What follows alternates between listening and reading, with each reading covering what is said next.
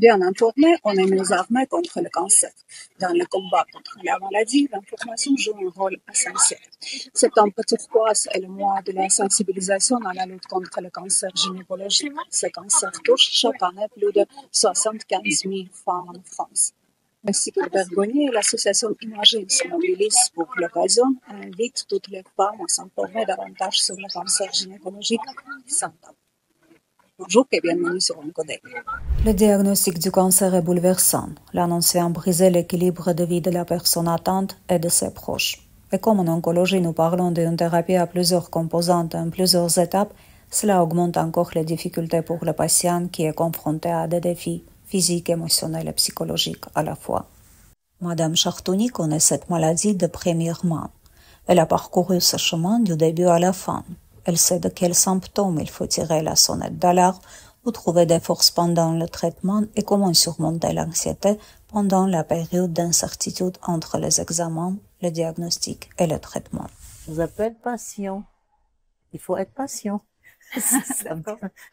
C'est le nom. Moi, j'ai compris pourquoi on nous appelait patient, parce que avant je le savais pas. Et euh, alors là, j'ai compris hein, pendant parce que ça a duré moi mes traitements, euh, je sais pas deux ans et demi, allez trois ans. Et euh, pendant ces trois ans, oh là là, qu'est-ce qu'il fallait être patient?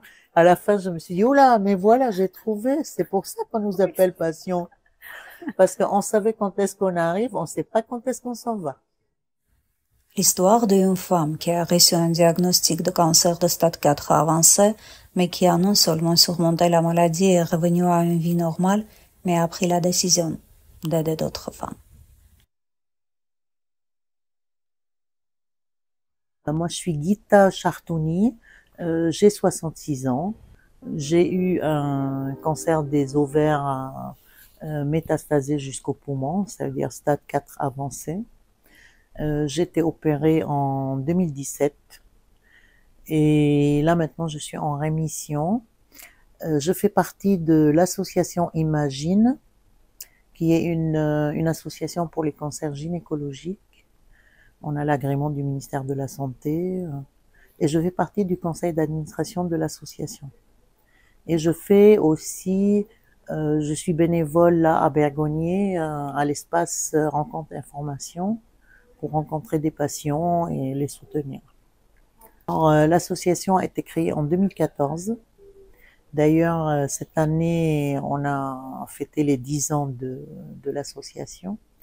En 2014, elle a été créée par euh, quatre patientes euh, qui ont un, qui avaient un cancer gynécologique. D'ailleurs, on a perdu trois de ces quatre. Il reste, non, on a perdu pas, excusez-moi, on a perdu deux de ces quatre et il en reste deux. Alors, euh, au début, c'était vraiment pour le cancer des ovaires.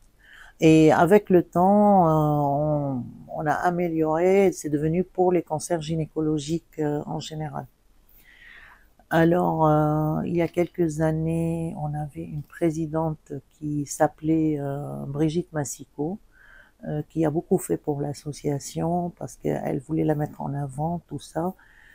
On l'a perdue, elle est décédée d'un cancer des ovaires aussi. Et maintenant, euh, c'est Coralie Marjollet qui est notre présidente actuelle et qui travaille euh, beaucoup avec acharnement parce que euh, elle a des idées qu'il faut toujours soutenir les femmes. Elle fait le maximum. Et toutes nos bénévoles travaillent pour ça. Ça veut dire notre but essentiel, c'est soutenir les patientes qui sont déjà malades avant tout et deuxièmement, c'est l'information et la prévention, c'est-à-dire informer, informer les femmes pour les suivis gynécologiques, parce que la première chose, c'est la prévention. Il faut pas se laisser aller, parce que c'est là qu'on peut attraper un cancer et que ça devient après très compliqué pour pour guérir si on veut. On est pour les patients et les aidants. Alors nous, dans les rencontres qu'on fait là, les rencontres de Café Imagine, bon, on les appelle Café Imagine, nos rencontres, ils peuvent venir avec les aidants. Hein. Ça veut dire la femme, elle peut venir avec son mari. On est ouvert pour ça, au contraire, parce que le soutien de l'aidant est très très important.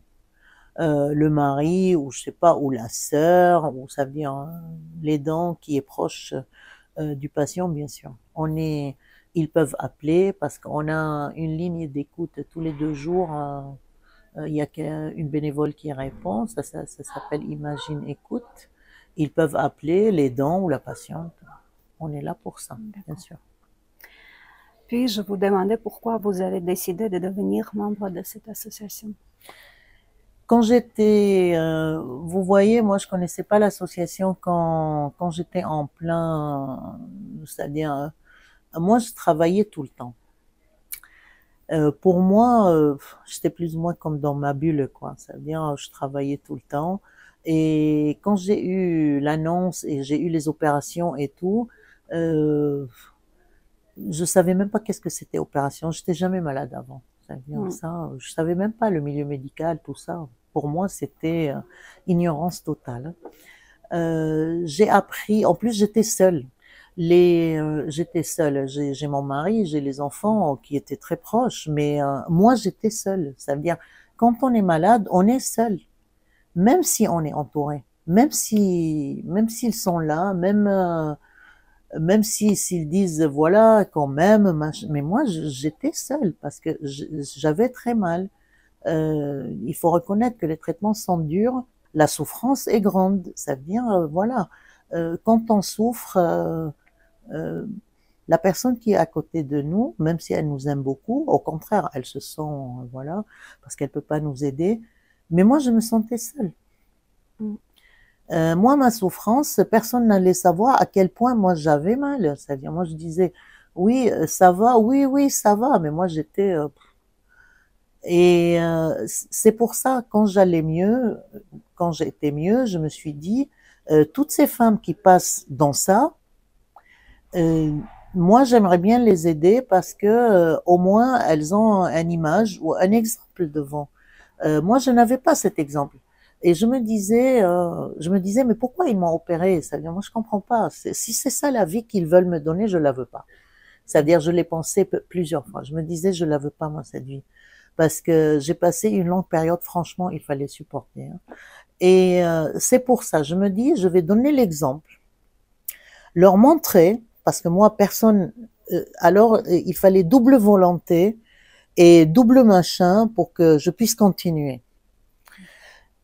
Et je me dis, si je- s'ils voient devant elles un exemple, et c'est ce qu'on fait, c'est-à-dire moi quand je monte en chirurgie, moi je leur dis pas, ouais, tout est rose, non, non, moi je dis la vérité, vous allez souffrir, euh, tout ça, mais ça va passer.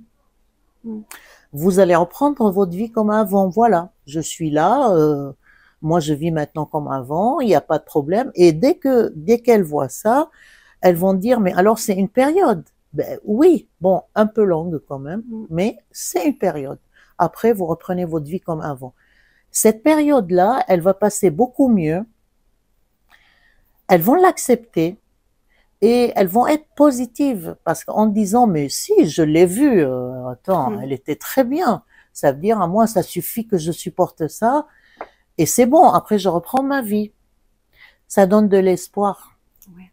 C'est pour ça, c'est tout simplement, ça vient moi si je suis euh, dans l'association Imagine parce que ça porte de l'espoir. Et il y en a plein que j'ai été voir, ils m'envoient parce qu'ils n'habitent pas là, elles m'envoient merci beaucoup, grâce à toi je suis là.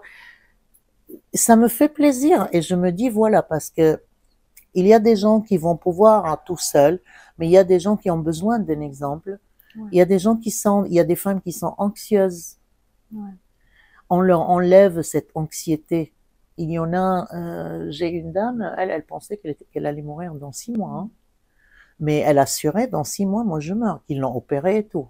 Elle me disait ça sert à rien, dans six mois je meurs. Et quand je lui ai dit, elle était en stade 3. Mm.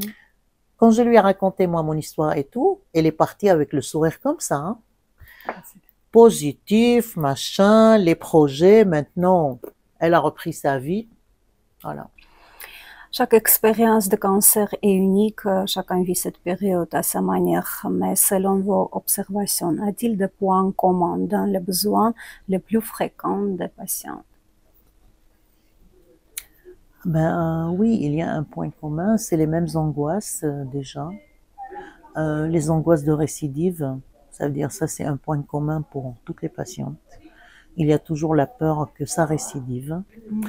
Euh, il y a le point commun, euh, voilà, pour une femme, euh, sans, par rapport au cancer gynéco, c'est ça, c'est leur sexualité, leur intimité.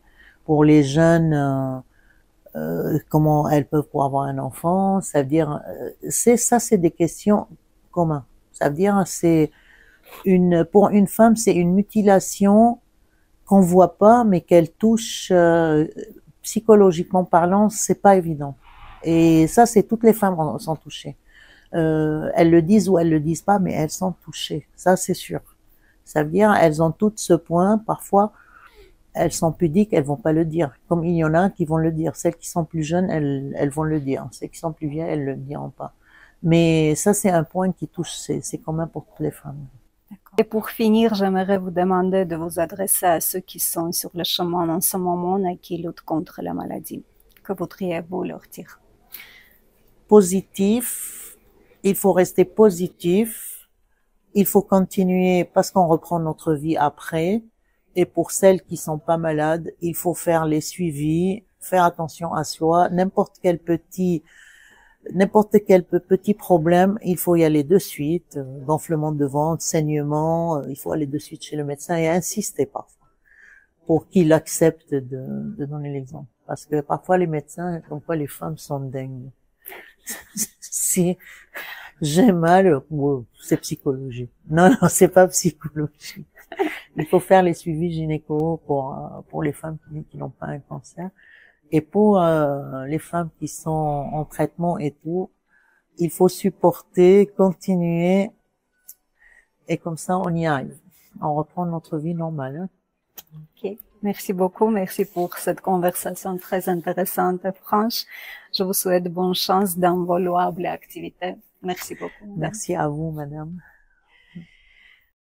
Don't forget to like, comment, share, and subscribe to Onka Daily on YouTube. Hit the bell icon to stay update.